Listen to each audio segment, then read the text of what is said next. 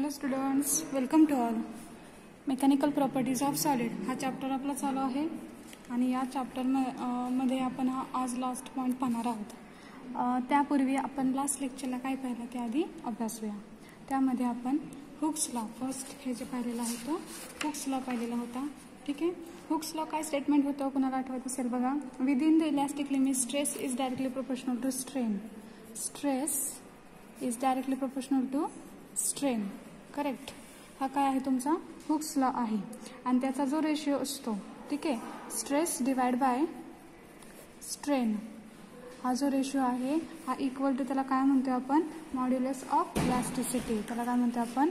Modulus of modulus of elasticity correct E stress divide by strain is equal to capital E modulus of elasticity आणि या modulus of इलॅस्टिसिटीचे constant आपण type of stress आणि स्ट्रेनच्या नुसार पाहत आलेलो आहोत. ठीक आहे? त्यातला फर्स्ट कॉन्स्टंट हा कॉन्स्टंट हा कोणता होता बघा? फर्स्ट कॉन्स्टंट आपण पाहिलेला आहे Young's modulus that is Y Young's modulus कशाचा रेशो आहे तो? The within the electric limit the ratio of a longitudinal stress to the longitudinal strain is called the modulus Young's modulus आणि त्याचा formula आपण derive केलेला होता that is capital M G L divide by pi R square small L हा Young's मॉड्युलसचा formula काय केलेला आहे आपण? डिराईव्ह केलेला आहे. हा त्याचा काय आहे? फर्स्ट पार्ट आहे. फर्स्ट कॉन्स्टंट आहे.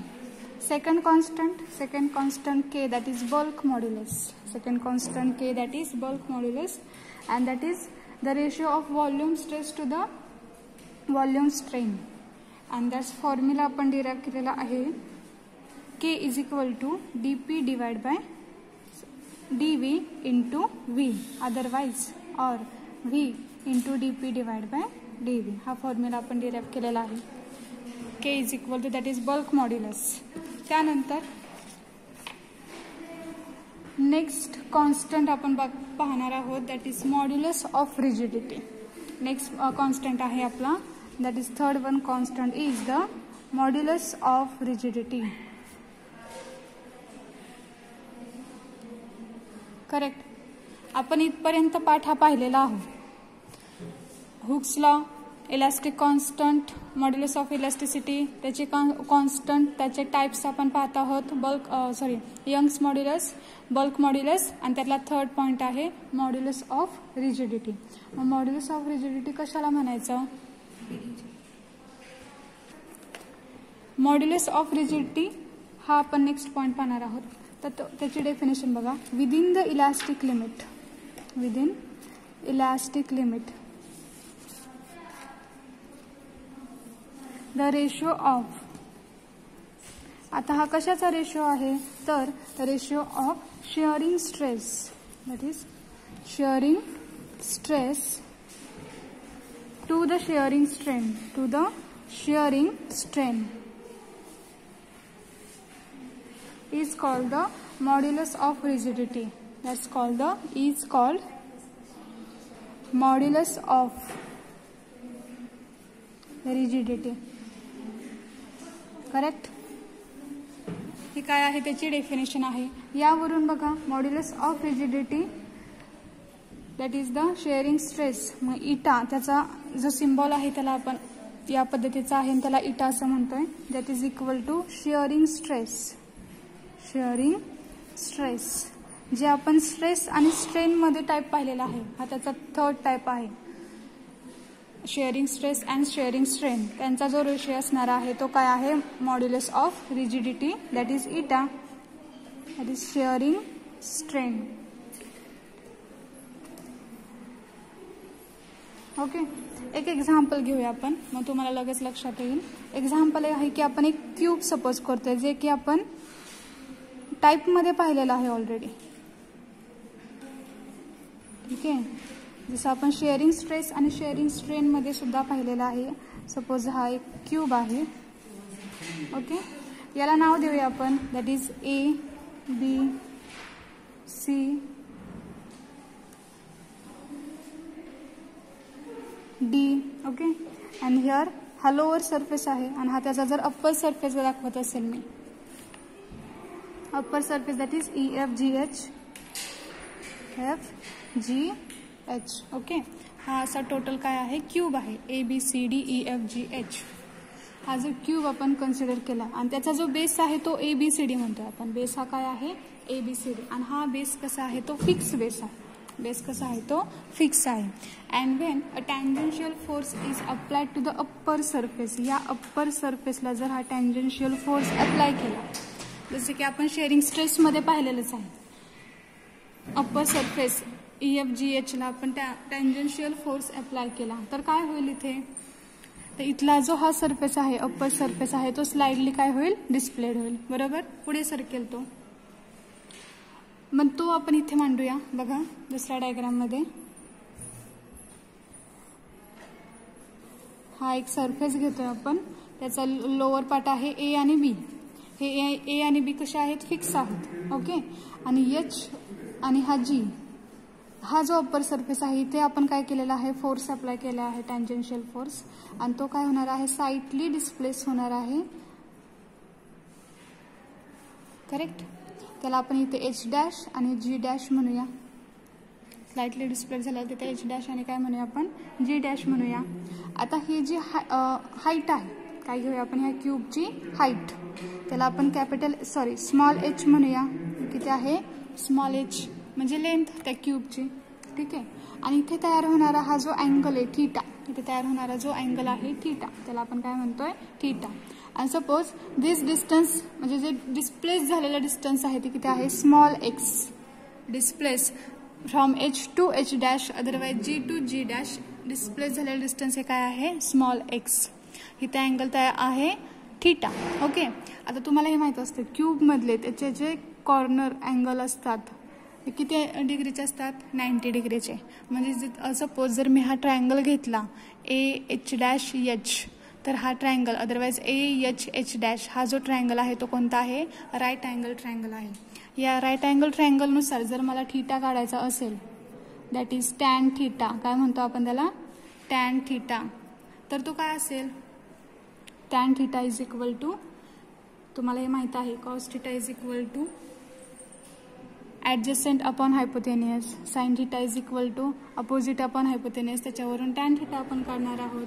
आणि मग इथं आपल्याला टॅन थिटा हा काय मिळणार आहे? आपल्याला X divide by H tan theta is equal to what X divide by H tan थिटाला आपण डायरेक्टली थिटा इथं म्हणू शकतो ॲप्रॉक्झिमेटली कारण की हे जे डिस्प्लेस झालेलं डिस्टन्स आहे हे खूप जास्त असं नाही आहे आपण ते एकदम थोड्या प्रमाणात घेतोय. मग हा जो अँगल तयार होणार आहे तो अँगल सुद्धा एकदम कमी असणार आहे. त्यासाठी tan theta is approximation to theta is equal to H upon sorry X upon H त्या लक्षात आहे पण आपण काय केलेलं आहे? क्यूब कन्सिडर केलेला आहे.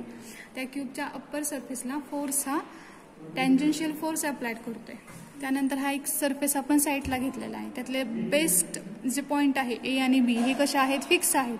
आणि एच आणि जी यांना टेंजेन्शियल फोर्स अप्लाय केल्यामुळे एच आणि जी हे काय काय झालेले आहे? स्लाइडली डिस्प्लेस झालेले आहेत. ओके एक्स या डिस्टन्सनुसार आणि त्यावरून आपण हा टॅन थिटा किंवा थिटा हा काय काढलेला आहे? एक्स अपॉन एच हा मिळवलेला आहे.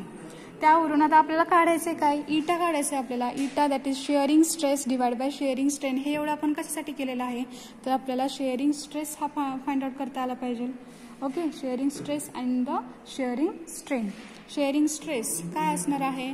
Applied force divide by area applied force divide by area हा असणार आहे. And shearing strain shearing strain कशाला म्हणायचं मग? Relative displacement of any layer म्हणजे ज्यामध्ये चेंज झालेला आहे डिस्प्लेस झालेलं आहे ते डिस्प्लेसमेंट ऑफ एनी लेअर कोणत्याही लेअरचं आपण ह्या लेअरचं सपोज करूया.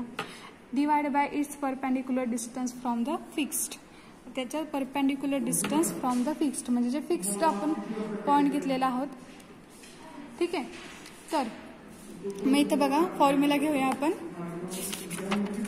That is shearing strain is shearing stress आधी घेऊया आपण. शेअरिंग स्ट्रेस हा काय असणार आहे? फोर्स डिवाइड बाय एरिया बरोबर?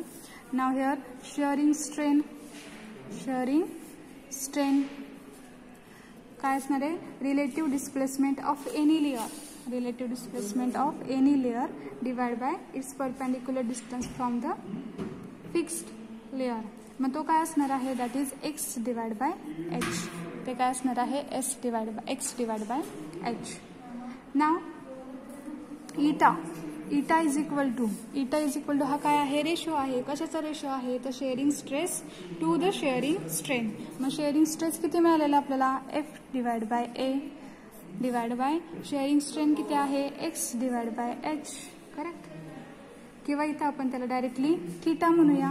या ठिकाणी आपण इथं थिटा पण म्हणू शकतो. काय म्हणू शकतो हा? थिटा आहे. So here which is equal to F divide by A into theta असं लिहू शकतो ना? F divide by A into theta पण पुन्हा आपल्याला ती व्हॅल्यू पुट करायचीच आहे. F divide by A into bracket theta म्हणजेच काय आहे? तर X divide by H opposite side divide by adjacent side A into bracket S divide X divide by H and there again is which is equal to F into H हा H काय आहे? डिनॉमिटरचा denominator आहे. मग तो काय होईल? न्युमिनेटरला जाईल. बरोबर का? एच ही जो हा जो आहे तो कशामध्ये आहे? डिनॉमिटरच्या डिनॉमिटरमध्ये आहे. मग तो काय होतो? न्युमिनेटरमध्ये जातो. So F into H divide by A into X हा फॉर्म्युला तयार मिळणार आहे आपल्याला. तो कशाचा आहे? Modulus of rigidity that is eta eta is equal to F into H divide by A into x modulus of rigidity and this modulus of rigidity is the property of only solid हे फक्त कशामध्ये होऊ शकतं only solid property is only for solid property is only for solid. हे सॉलिडमध्येच होऊ शकतं. हे लिक्विडमध्ये होऊ शकतं का? गॅसेसमध्ये होऊ शकतं का? तर नाही. हे फक्त कशाची प्रॉपर्टी आहे? सॉलिडची प्रॉपर्टी आहे. So modulus of rigidity eta is equal to F into H divide by A into X हा नेक्स्ट थर्ड कॉन्स्टंट आहे जो की आता आपण डिराईव्ह केलेला आहे. असे आपले किती कॉन्स्टंट झाले? तीन कॉन्स्टंट झाले. ठीक आहे? फर्स्ट कॉन्स्टंट आहे कोणता? Bulk modulus sorry Young's modulus that is Y okay second त्याचा फॉर्म्युला काय आहे? Y is equal to capital M G capital M L divide by pi R square into small l second modulus that is bulk modulus त्याला आपण काय म्हणतोय? K म्हणतोय capital K and which is equal to what V into D P divide by D V and third modulus is the modulus of rigidity that is eta and which is equal to F H divide by A into X असे हे तीन modulus कॉन constant modulus आहेत आणि हे व्यवस्थित करायचे. याच्यावरती काय करायचं आहे नेमकं? तर जास्त करून काय करायचे आहेत? न्युमरिकल्स करायचे. याचे डेरिवेशन्स तर करायचेच आहेत. विथ त्याच्यासोबतच काय करायचे आहेत? प्रत्येकाचे न्युमेरिकल्स करायचे आहेत. त्यासाठी हे तीन फॉर्म्युले अत्यंत इम्पॉर्टंट आहेत. ओके आणि आपला नेक्स्ट आणि लास्ट पॉईंट असणार आहे त्याला आपण सुरुवात करूया. That is Poisson's ratio Poisson's ratio okay next point आहे आपला. पॉइझन्स रेशिओ हा लास्ट पॉईंट असणार आहे आपला. तुम्हाला यावरती क्वेश्चन काय असेल बघा? Define the Poisson's ratio and obtain and expression for it define Poisson's ratio and obtain and expression for it पण डिफिनेशन घेऊया आधी आपण. Definition of the Poisson's ratio काय असेल डेफिनेशन तर बघा within the elastic limit okay in elastic limit the ratio of the ratio of within the elastic limit the ratio of lateral strain lateral strain to the to the longitudinal longitudinal strain. आता जर तुम्ही इथे व्यवस्थित पाहिलं असेल हा ratio आहे ना हा रेशिओ दोन्ही पण स्ट्रेनचाच रेशिओ आहे. Is called Poisson ratio is called Poisson's ratio हा रेशिओ कशाचा आहे? Is called the Poisson's ratio हा रेशो आहे तो कशाचा आहे? Lateral strain to the longitudinal strain म्हणजे हा जो रेशो आहे तो स्ट्रेनचा आहे. त्यामध्ये कशाचा आहे? Lateral and longitudinal but in a within elastic limit within elastic limit the ratio of lateral strain to the longitudinal strain is called the Poisson's ratio त्याला काय म्हणतो आपण? पॉयझन्स रेशो आणि त्याचा सिम्बॉल आहे सिग्मा त्याचा सिम्बॉल काय आहे? Sigma. So therefore sigma is equal to what lateral strain lateral strain divide by longitudinal strain. Longitudinal strain sigma is equal to what sigma for the Poisson's ratio हे नेहमी लक्षात ठेवा. Sigma हा कशाचा symbol आहे? Poisson's रेशिओचा symbol आहे. And that is equal to what lateral strain divide by longitudinal strain म्हणजे हा एक रेशिओ आहे. दोन्हीही स्ट्रेनचाच आहे. फक्त lateral to the longitudinal within the elastic limit this is the definition आणि याचं आपण आता एक्सप्रेशन पाहूया. एक्सप्रेशन पाहायचं आहे आपल्याला. तर सपोज एक्सप्रेशन पाहण्यासाठी एखादी आपण वायर कन्सिडर करूया ज्याची लेंथ आहे कॅपिटल एल आणि जी की एका पॉईंटला फिक्स आहे. ठीक आहे? एक वायर आहे त्याची लेंथ किती आहे? कॅपिटल एल ही काय आहे त्याची? ओरिजिनल लेंथ आहे कॅपिटल एल ते एका साईडला आपण काय केलेलं आहे? फिक्स्ड केलेलं आहे. आणि सपोज या वायरचा जो डायमीटर आहे या वायरचा जो डायमीटर आहे त्याला म्हणतोय आपण कॅपिटल डी डायमीटर त्या वायरचा काय आहे? Capital D which is suspended to the rigid support आणि या वायरला आपण काय केलेलं आहे? एखादा वेट अटॅच केला असेल. सपोज़ काय केलेलं आहे? वेट अटॅच केलं असेल. एम बरोबर? तर हा काय होणार आहे? वायर काय होणार आहे? इलॉंगेट होणार आहे. काय होणार आहे? इलॉंगेट होणार आहे. बरोबर? येते लक्षात? So force will be act on the wire म्हणजे वेट अप्लाय करतो याचा अर्थ ह्याच्यावरती काय आपण ऍक्ट करतोय? फोर्स ऍक्ट करतोय. And this force will increases the length of wire म्हणजे सपोज या वेटमुळे म्हणजे या फोर्समुळे या वायरची लेंथ जर इन्क्रीज होत असेल त्याला आपण काय म्हणणार आहे? Small l increasing otherwise change in काय असणार आहे त्याला? स्मॉल एल म्हणतो आपण. आणि इन्क्रीजिंग लेंथला आपण म्हणतो आहोत स्मॉल एल सो आणि या वेटमुळे किंवा या फोर्समुळे ज्या लेंथमध्ये चेंज होणार आहे त्याच्या लेंथमध्ये चेंज होणार आहे आणि अजून कशामध्ये होईल? त्याच्या डायमीटरमध्ये चेंज होईल. ओरिजिनल डायमीटर आपण डी म्हणतोय कॅपिटल डी. हा ओरिजिनल डायमीटर आहे आणि त्याचा जो चेंज इन डायमीटर आहे किंवा इन्क्रीजिंग डायमीटर आहे त्याला आपण स्मॉल डी म्हणूया. काय म्हणूया त्याला? Small d. Okay? So first आपण काय काढून घेऊया आधी? Lateral strain. Lateral strain. Lateral strain हा काय असेल? That is equal to lateral strain is the change in diameter lateral strain is equal to change in diameter to the original diameter lateral strain is equal to change in diameter to original diameter original diameter आता lateral change डाय ओरि change in diameter कोणता आहे? Small D आणि original diameter कोणता आहे? Capital D मग lateral strain हा काय झाला? Small d divide by capital D त्याच पद्धतीनं लॉन्जिट्युडिशनल स्ट्रेन आता हा आपण पाहिलेला आहे. टाईपमध्ये सुद्धा काय केलेला आहे आपण? हा काढलेला आहे. हा काय असतो? That is change in length to the original length मग चेंज इन लेंथ ही काय आहे? स्मॉल एल स्मॉल ही त्याची चेंज इन लेंथ आहे. आणि ओरिजिनल लेंथ ही काय असणार आहे वायरची that is capital L capital ही काय आहे? ओरिजिनल लेंथ आहे. So we got here longitudinal strain is equal to small l divide by capital L आणि यावरून आपण हा काय काढू शकतो? पॉयझन रेशिओ काढू शकतो.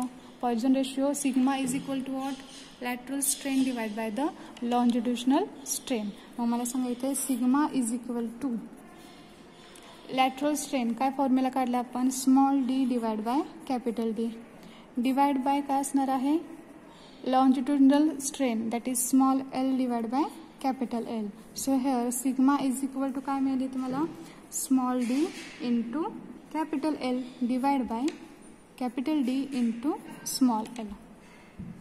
This is the Poisson's ratio otherwise the formula of the Poisson's ratio. Sigma is equal to small d into capital L divided by the capital D into small l. आता capital small D हा काय आहे? Change in diameter capital L ही काय आहे? Original length of the wire capital D हा काय आहे? Original diameter of the wire and small l हे काय आहे? Change in length of the wire ठीक आहे? That is the sigma for a homogeneous isotropic material it is the negative हा जो सिग्मा म्हणजे हा जो पॉयझन रेशो आहे तो होमोजिनियस आय आयसोट्रॉपिक मटेरियलसाठी तो कसा असतो? For homogeneous isotropic material it is negative. It is negative. Okay? For cork, it is a zero. Cork जे आहे त्यांच्यासाठी तो कसा आहे तो? झिरो एम सी क्यूसाठी इम्पॉर्टंट आहेत हे क्वेश्चन्स फॉर मेटल मेटल सा हा पॉइंट थ्री है फॉर मेटल पॉइजन रेशो हा किती आहे? Point three and for rubber it is nearly equal to point five rubber जो मटेरियल तुम्ही यूज़ करता तो रबरसाठी हा किती आहे? नियरली पॉईंट फाईव्ह ओके अशा पद्धतीनं पॉयझन रेशिओ त्याची डेफिनेशन्स त्याचा फॉर्म्युला आणि त्याचं एक्सप्रेशन्स हे व्यवस्थित तुम्ही काय करायचं आहे अभ्यासायचं आहे. आणि हा पॉईंट हा आपल्याला या चॅप्टरमध्ये लास्ट पॉईंट आहे. इथे आपला चॅप्टर संपत आहे. या चॅप्टरचे न्युमेरिकल्स आपण नेक्स्ट लेक्चरला घेऊया. ठीक आहे? आज आपण इथेच थांबूया. याचे नोट्स तुम्हाला ग्रुपवरती पाठवले जातील. Thank you so much